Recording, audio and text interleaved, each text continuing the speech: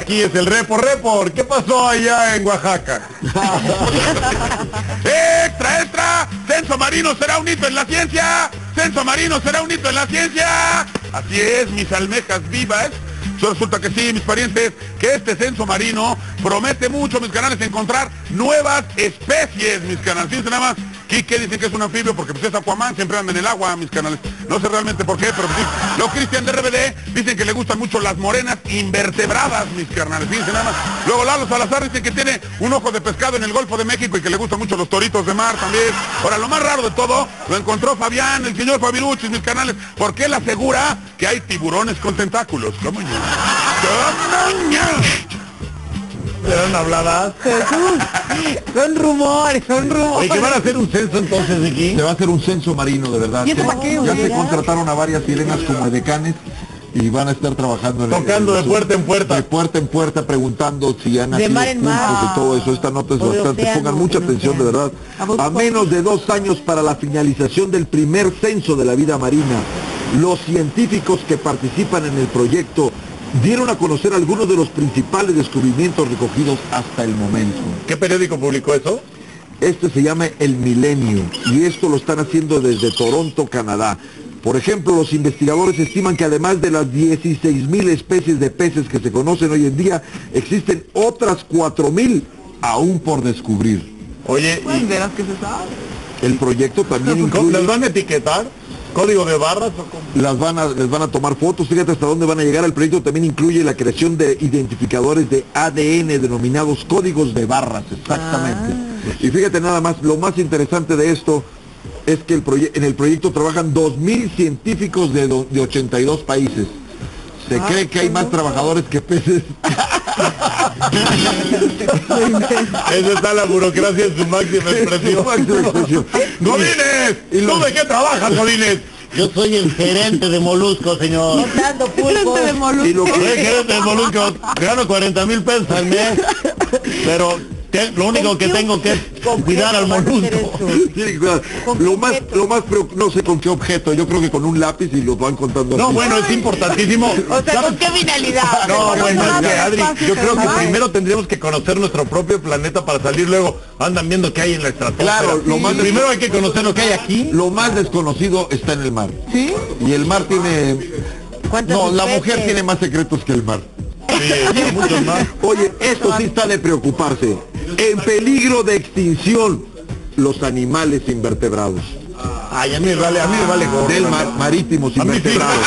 Con los problemas que tenemos en este Marítimos país. invertebrados. ¿Cómo para estar? ¿Qué te pasa, Arce?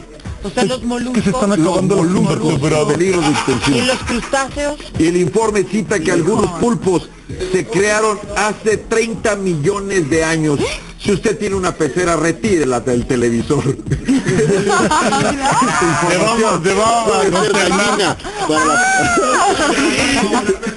Ricky, el 11 años que te quedaste sin trabajo, que... Hace 15 días. No, Que casi cuando me refiero a tu juventud. Oye, Pero tú tienes trabajo aquí con No nosotros. estuvo de poca. No, no, la última vez que te quedaste sin trabajo, ¿algún molusco invertebrado te habló algún molusco invertebrado. para no. ponerte a, a sus, para ponerse a tus ¿Qué órdenes?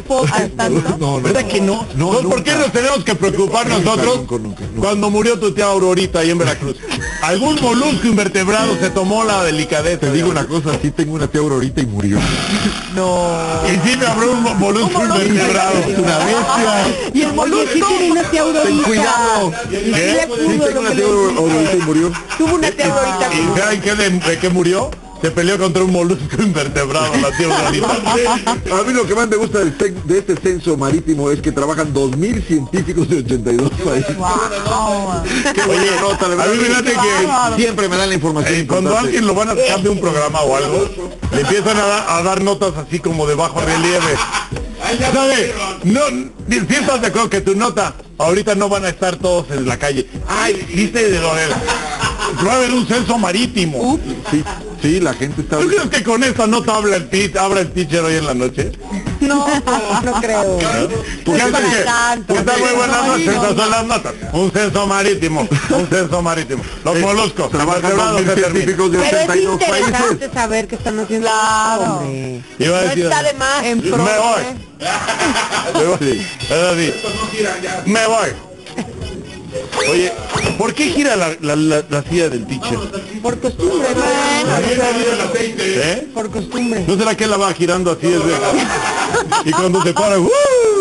O sea que mi nota no gustó. No, sí. Sí, sí, No está buena, buena. A mí me Los niños interesan los tienen peceras, los niños quieren saber qué es lo que está pasando. La verdad. Pececito, peces- ¿Qué, te- ¿Qué canciones has compuesto? Nemo, Bob. Ahora tú que eres compositor, Ricky, no, no, no tienes toda la basura, tú no te Ah, amargues.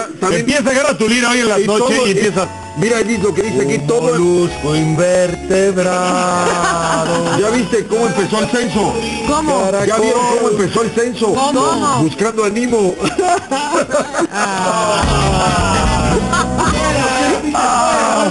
a romper. Oye, Ricky, quiero probar tu calidad de compositor.